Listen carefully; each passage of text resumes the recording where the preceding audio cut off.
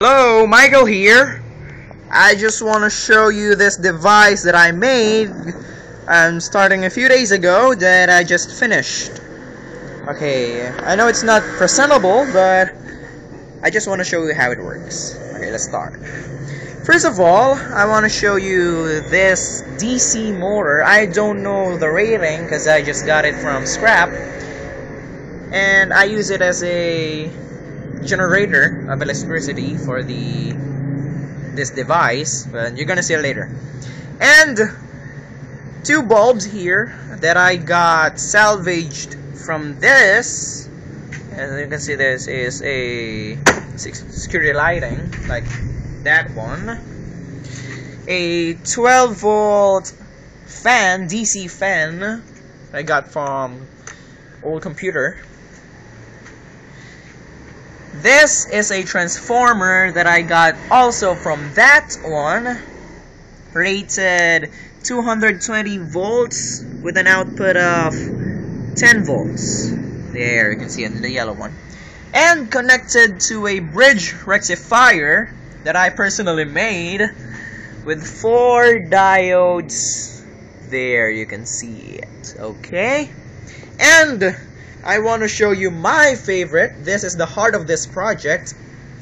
This is an electromagnet. Well, I was inspired by the contest that I joined uh, quite a few months ago.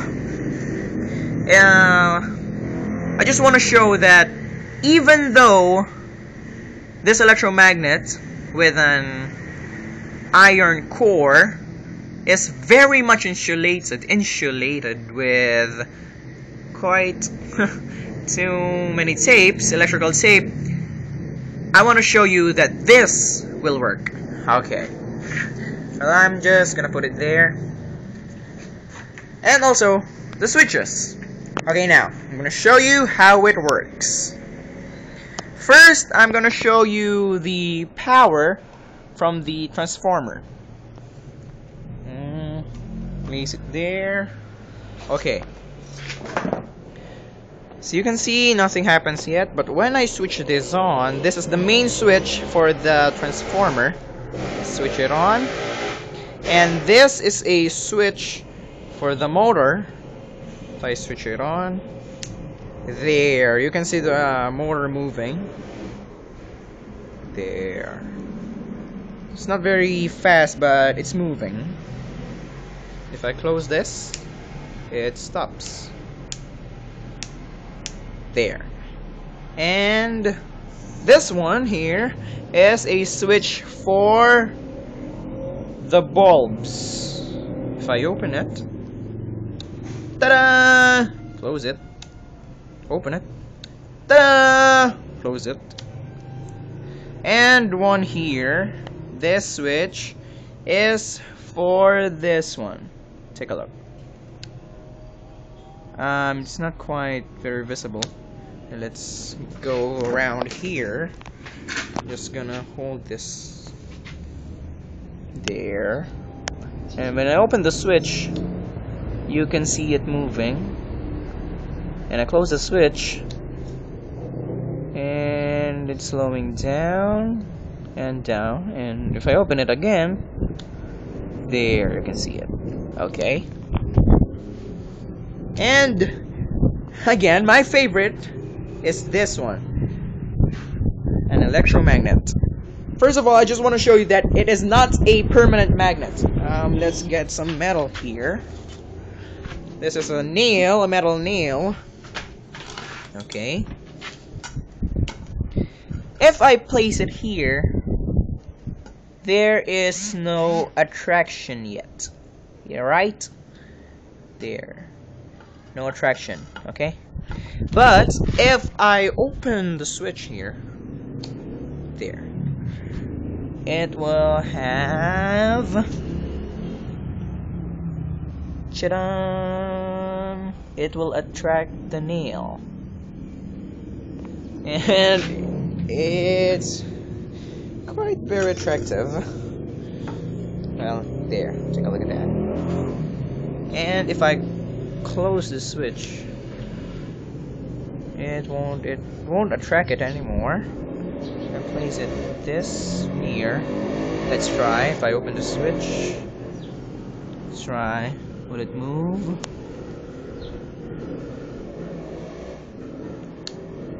It's not moving because it's too far away. But if I put it here, there, see it. There. Uh huh. It works even when very insulated. Yes, because what the Proctor told us that when it's very insulated, it won't work. But I did it, and it's working.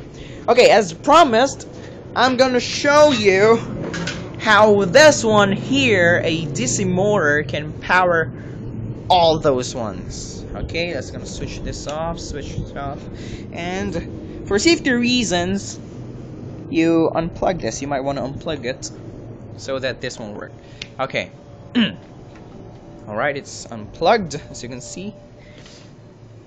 And for it to move, for it to move, I'm gonna use this Ozito drill I have here.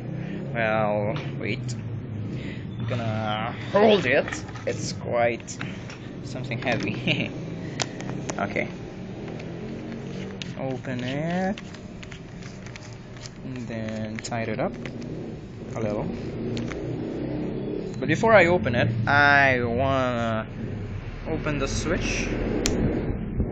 And this, when it's reversed, this now is the switch for the motor here to power them, okay? So now I'm going to open the light. This is for the light bulb, right? Oh no, uh, let's see. There. And if I close it, and I spin it, no light, because it's switched off. But if I open it, and I roll it, there's the light. Oh, okay. It's not that tight after all. Mm -hmm. Ah. And if I close it and open this one, it will activate this. Okay, you can see that. And it will stop if I fire it again. Ah! It's not that tight.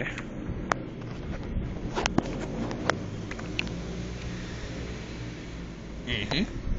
Okay, now that you've seen this one, and my favorite one is here, this is the switch again for this, my favorite! Let's place it here. Oh god, how am I gonna hold this? Okay, let's see. If it's placed there, and the piece of there, okay. It's not too far, not too close, just want to show you how it moves. Okay, let's try. Let's try that far if I open this, if I fire it,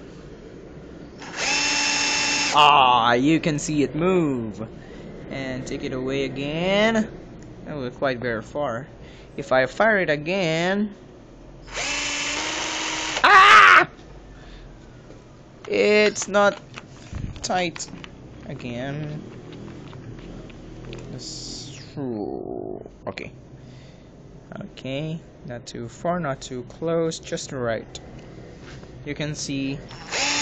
Ah, huh? Okay, it's not because of the vibration, it's because of the magnets, okay? Don't be very, very cruel. Okay, uh, okay, I'm holding it with my hand here so that you can see it. There it is. I'm holding it there and it's not that attracting very much. But if I open it and start with it there you can see. And oh that one's good. Place it again still no attraction. If I open it close it. Ah uh -huh. okay now you've seen it work and voila! This is the device I made a few days ago that I just finished. And I'm gonna use this for a report on my physics class. I hope you like it, guys. Again, this is Michael Paredes here. And this is my device.